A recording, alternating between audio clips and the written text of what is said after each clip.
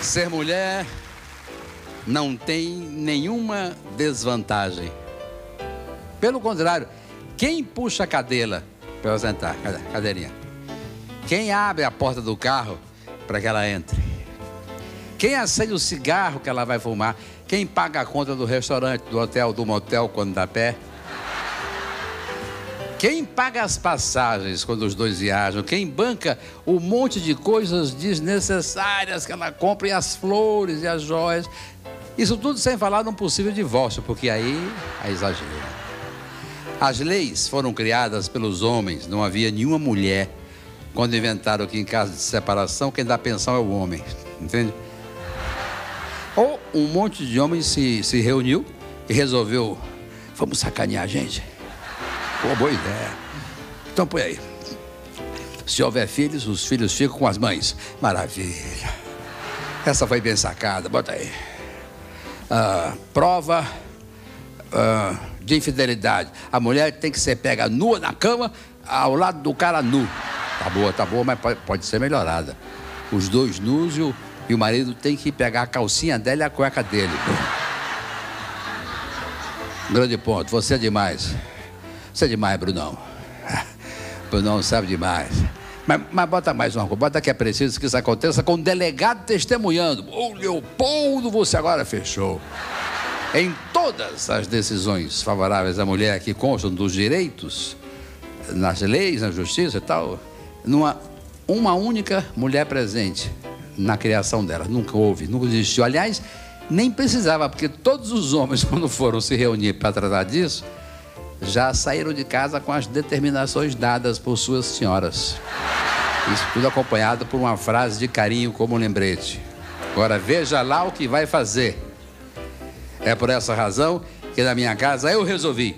Eu decido as coisas transcendentais. Minha mulher é as triviais. Ou seja, quem será o presidente? Que posição devemos tomar na oposição? Se a Petrobras deve ou não ser privatizada, isso eu decido. Ela decide só o trivial, onde vamos morar, o que vamos comer, onde as crianças vão estudar, que roupa vou vestir, com quem posso falar, quanto posso gastar. Não é muito mais cômodo?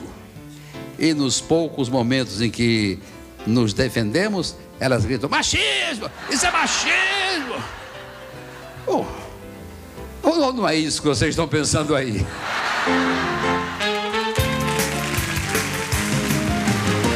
Chico Total está no ar.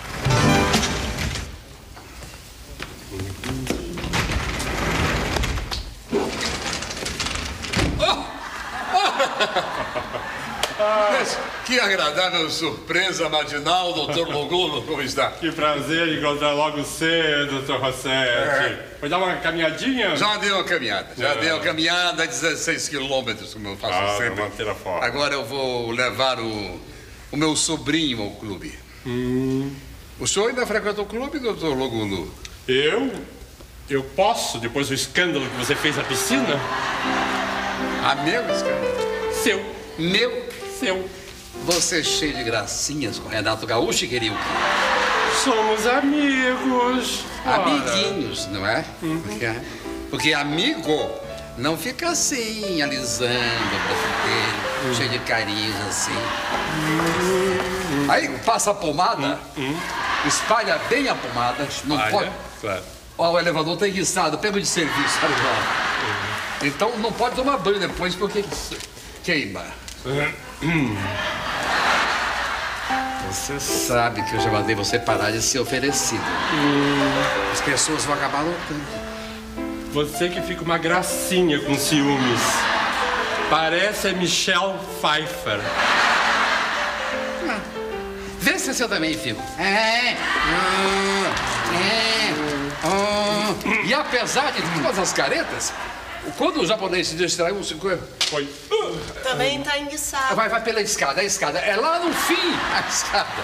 O japonês, então, deu a chave, uma chave de braço assim. Uhum. Doutor Rossetti, doutor Logulo, os carros dos senhores já estão aguardando. É sim. Então, machucou o braço, é claro, mas ele conseguiu. Sim, o golpe. No hospital, colocar no lugar. Obrigado, pastor. Obrigado, pastor. Obrigado. Eu vou para o clube Claro. Aguentar a criança. Que nem nossa é. Mas um dia, com o progresso da ciência. Os senhores vão descer agora? É uma espinha apenas. Ah, então. Nada preocupante. Não, tá bem. Vamos descer, sim. Chame os nossos motoristas. Passar bem, doutor Logulo. Passar bem, doutor Rossetti. Divirta-se. Cacá. Você também, eh, Gugu. Eu estou cada dia passa com mais ódio. Faça Faz vídeo. convite. que faz você? Louvado seja Deus. Você tem algum pecado? Eu casei com ele, seu padre. Como assim, filho? Sabe a ressurreição de Cristo? A minha, a minha mulher também ressuscitou. É que São Pedro expulsou ela do céu. Você precisa amar sua mulher. Que da mulher, que, que ele é azia do pecado da gula. Por pior que seja sua esposa, você lhe deve fidelidade. Eu não tenho olhos para mulher nenhuma fora de casa, eu juro. Fora de casa é para nenhuma. Só para Laninha. Laninha, mas Laninha mora em casa. Laninha é o nome da sua mulher? Não, não, não. Da minha empregada. Minha mulher é Sofia, que aliás não é um nome, é um rótulo. Só feia. Se o senhor não ama sua esposa, então não devia ter se casado. Eu estava de porre. Tomei uma cachaça chamada Milagre do Pão. Resultado, acordo todo dia olhando para uma broa. O senhor não tem nenhuma palavra de carinho para dizer à sua mulher? Eu sempre digo, calada. O senhor não tem pena dela? Por quê? O senhor está com pena? Então me faz essa gentileza, traz ela para sua paróquia. Estamos aqui com a famosa dupla Zé Alberto Zé e Caretano Zeloso, que estão aqui para debater um assunto polêmico, a homossexualidade no meio artístico.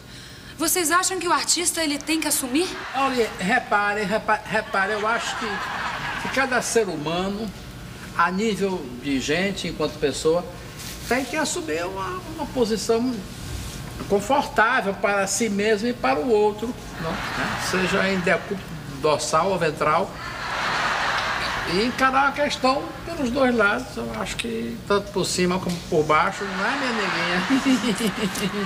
Eu acho que o artista não pode ter medo dessa coisa forte e imensa que é o desejo. E essa coisa que penetra a nossa intimidade faz a gente ficar maluco. Ou não. O que, que vocês acham, gente, daquelas pessoas que tentam forçar o artista a assumir uma condição gay? Forçar não adianta nada, né? Porque é preciso que as pessoas compreendam que essa, essa identificação com a massa, essa a causa justa disso, esse, esse comprometimento se dá naturalmente, né? Com conversa, com, com debate, maturidade, não é? Um whiskyzinho também ajuda muito, né, Zé? Ou não. E agora, é, como vocês se comportam diante dele, do sexo? Bem, eu me comporto com muita tranquilidade, né? Porque eu encaro as coisas de frente. Eu, eu não faço como certas pessoas que, que ao se depararem com esse negócio perturbador do sexo, porque o sexo, de um certo modo, perturba, né? Então, esses- essa- há pessoas que vão logo dando as costas. Mas, mas isso acontece, Zé, porque as pessoas superdimensionam o sexo. E o sexo superdimensionado provoca a dor. E eu não consigo interiorizar isso muito porque eu sou neguinha. E por isso pense no Haiti. Fale sobre o Haiti. Genial, genial. Bom, muito obrigada Sim, é pela além do que, entrevista. enfim, Catito falou certo. Eu, eu acho que, que a minha alma, a minha, minha alma cheira tal, a, no sentido metafísico e até meteufórico, que toda menina baiana tem. Zé fundiu a cabeça de vocês. Catito tá certo, porque isso remete a um questionamento mais profundo. E ao falar em profundo, eu tô falando profundo de quem dá fundo, né?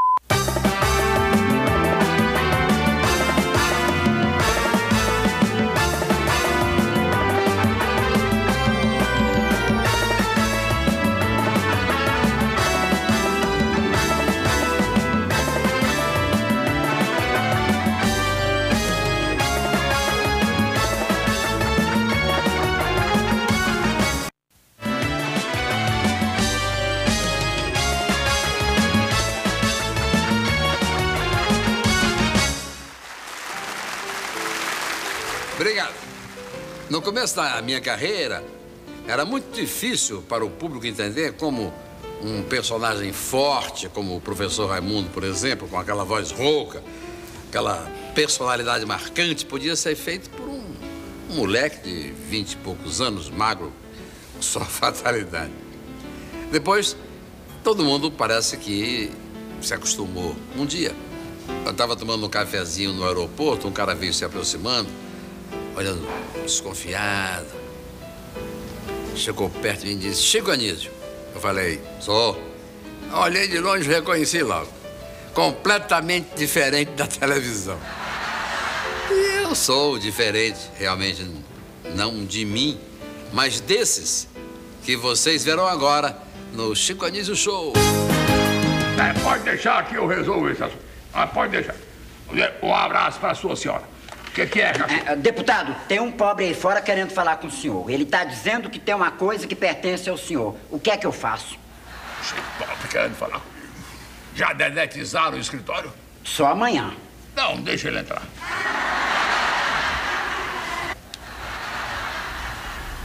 Mas ela ainda está cheia de dinheiro? É. É claro, doutor, não mexi em nada não.